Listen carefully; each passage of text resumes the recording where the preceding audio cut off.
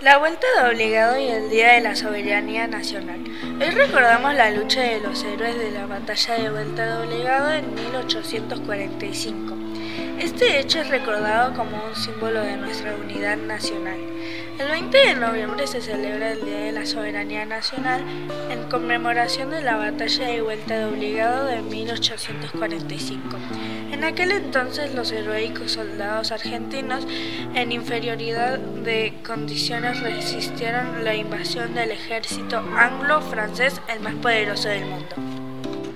20 de noviembre de 1845, con la finalidad de colonizar territorio de nuestro país durante 1845, Francia e Inglaterra emprendieron una ofensiva con una flota de 95 navios de carga repletos de productos para ser colonizados en la producción de Corrientes y en el Paraguay.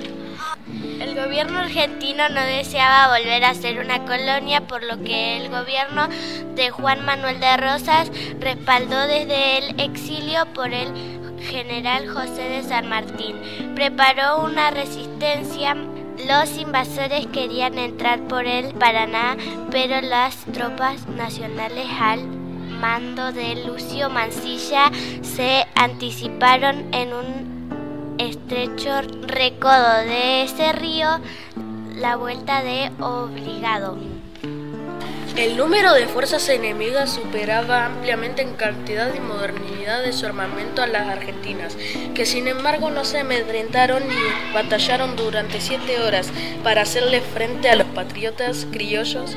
Colocaron tres líneas de cadenas para interrumpir el avance de los enemigos. Esto les trajo muchos inconvenientes a los invasores, como pérdidas de barco y tripulación, herida, de este modo lograron que las tropas adversarias no pudieran ocupar las costas, objetivo necesario para poder adentrarse en el territorio argentino.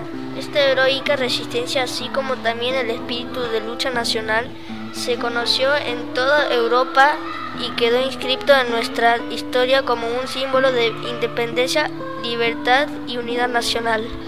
El mejor homenaje que podemos realizar es retomar el legado de los hombres y mujeres que lucharon para construir nuestra nación, entendiendo que esta batalla también tiene como escenario los aspectos económicos, políticos y culturales.